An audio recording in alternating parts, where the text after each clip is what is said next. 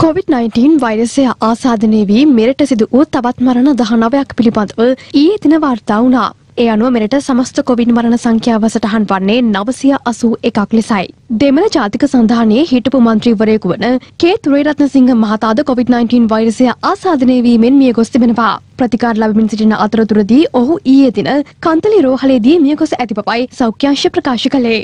අගන්නව නවවන දිනටත් දෙදහස ඉක්ම වූ කොවිඩ් රෝගීන් පිරිසක් ඊයේ දිනත් වාර්තා වුණා. එලෙස වාර්තා වී ඇති කොවිඩ් රෝගීන් සංඛ්‍යාව දෙදහස් හාරසිය පනස් හයක් වන අතර ඉන් පුද්ගලයින් විසිතුන් දෙනෙකු විදේශගතව සිට මෙරටට පැමිණි පුද්ගලයන්. ඉතිරි ආසාදිතින් අතරින් වැඩිම සංඛ්‍යාවක් වාර්තා වී ඇත්තේ ගම්පහ දිස්ත්‍රික්කයෙන් වන අතර එම සංඛ්‍යාව හයසිය හැත්ත හතක්. කොළඹින් තුන්සේ විස්සක් කළුතරින් තුන්සේ පණහක් ගාලෙන් දෙසය පනස් නවයක් මාතරින් අසූ හතරක් හම්බන්තුටින් දහනවයක් වාර්තා වී ඇති අතර කෑගල්ලෙන් වාර්තා වී ඇති කොවිඩ් රෝගීන් සංඛ්‍යාව පහක් රත්නපුරෙන් කොවිඩ් රෝගීන් පනස් හයක් බදුල්ලෙන් පණහක් මොනරාගලින් විස්සක් මාතලින් හතලිස් හයක් මහනුවරින් තිස් හතරක් නුවරේලියෙන් විසි පහක් අම්පාරෙන් විසිතුනක් මඩකලපුෙන් දාහතක් සහ අනුරාධපුරෙන් එකොළොස් දෙනෙකු වාර්තා වී තිබෙනවා. පොළොන්නරුවෙන් කොවිඩ් රෝගීන් අසූ දෙදෙනෙක් ඊයේ දින වාර්තා වී ඇති අතර පුත්තලමින් පනස් එකක් කුරුණෑකලින් හැටක් මන්නාරමෙන් පහක් මුල්තිව් දිස්ත්‍රික්කෙන් දෙසේ පනස් පස් දෙනෙකු වාර්තා වී තිබෙන බවයි කොවිD-19 පැතිරීම වැළැක්වීමේ ජාතික ක්‍රියාන්විත මධ්‍යස්ථාන නිවේදනය කළේ.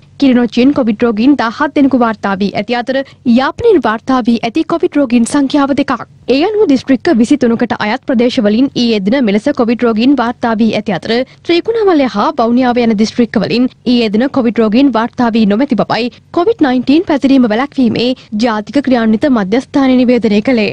මේ අතර කොවිD-19 වෛරසය ආසාදනය වී මියගිය බගවන්තලාව සිරිපුර ප්‍රදේශයේ පදිංචිව සිටි අමුසැමි යුවලගේ නිරෝධහනය සඳහා යොමු කළ සිටි පවුලේ සමාජිකයින් 6 දෙනාටද කොවිD-19 වෛරසය ආසාදනය වී ඇති බව තහවුරු වී තිබෙනවා. මීට අමතරව කොවිD-19 වෛරසය ආසාදනය වී දැනට ප්‍රතිකාර මධ්‍යස්ථානයක් කරා යොමු කර ඇති නෝඩ් ප්‍රාදේශීය සභාවේ සභාපතිවරයාගේ පවුලේ සමාජිකින් තිදෙනෙකුට හා නිවසේ සේවිකාවකටද කොවිD-19 වෛරසය ආසාදනය වී ඇති බවයි සෞඛ්‍යංශ ප්‍රකාශ කළේ.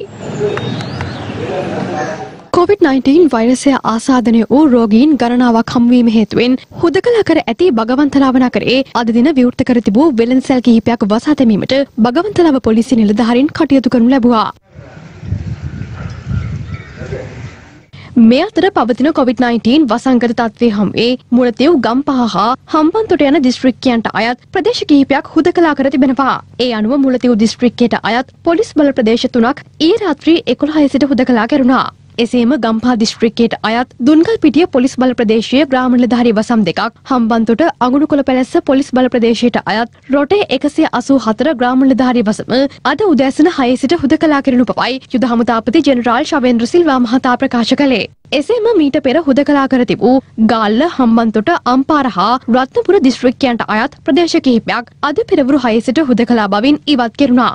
පවතින තත්ත්වය හමුවේ හුදකලා කර ඇති ප්‍රදේශවල ඇඟලුම් කර්මාන්තශාලා පවත්වාගෙන යාම සහ ඒවාට සේවකීන් ප්‍රවාහනය කිරීම දැඩි සෞඛ්‍ය තර්ජනයක් බවට පත්ව ඇති බව ශ්‍රී ලංකා මහජන සෞඛ්‍ය පරීක්ෂකවරුන්ගේ සංගමේ සභාපති උපුල් රෝහණ මහතා පවසනවා.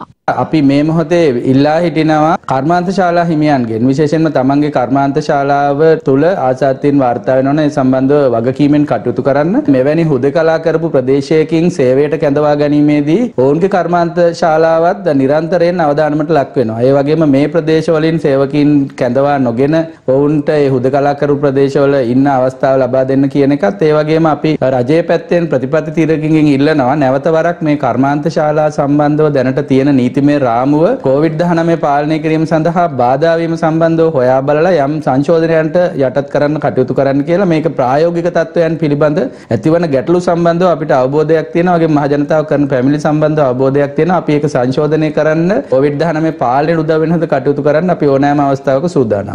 ජාතික හැඳුනුම් පතේ අවසාන අංක ක්‍රමවේදය උල්ලංඝනය කරමින් සංචන සීමා කඩකල පුද්ගලයින් එකසිය හතලිස් එක් දෙනෙකු ඊයේ දින අත්අඩංගුවට ගෙන තිබෙනවා.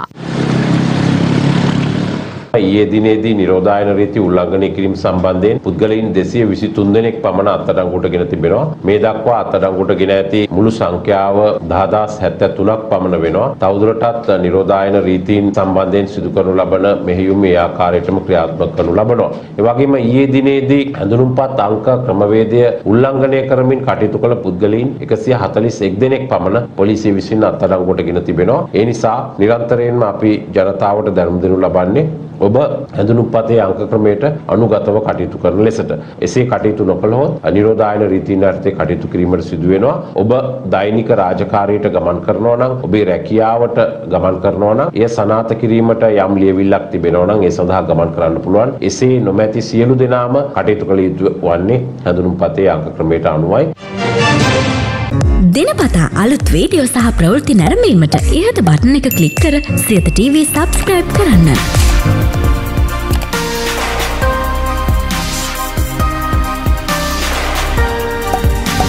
වීඩියෝ ගැන මුලින්ම දැනගන්න මෙම සීනුව කලික් කරන්න.